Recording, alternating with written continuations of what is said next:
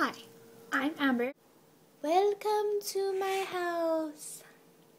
So, we're going to talk about trash because this is a trash project. Yeah. There are four types of trash recyclable, compostable, reusable, and trash. On a daily basis, my family and I make about three pounds of trash. These small bags are from the two upstairs bathrooms.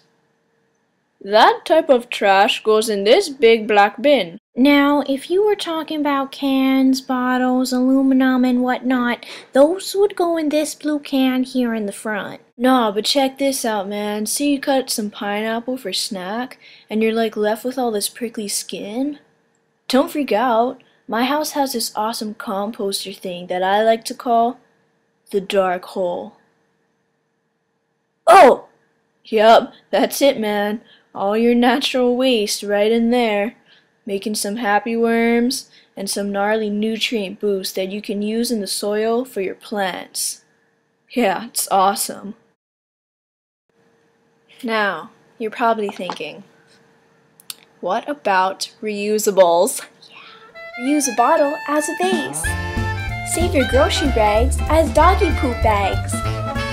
Scratch paper. Noise maker! The possibilities are endless. Thanks for listening.